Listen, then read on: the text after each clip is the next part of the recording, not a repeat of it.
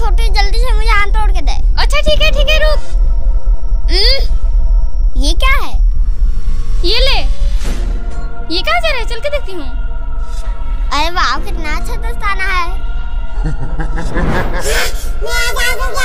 ये तो शैतान बन गया। अब मैं क्या करूँ? एक काम करती हूँ बाबा के पास चलती हूँ। बाबा मेरे भाई को एक शैतान ने पकड़ लिया है। ओम ह्रीम क्लीम फट। बच्चा तेरे भाई ने एक शैतान के दस्ताने को पहन लिया है जिससे उसमें रहने वाली रूह ने तुम्हारे भाई को अपने कब्जे में कर लिया है। कुछ करके बचा लीजिए बाबा। हम्म? ये ले पवित्र गंगा जल इसे अपने भाई के ऊपर छिड़क देना। उस शैतान का अंत हो जाएगा। ठीक है बाबा।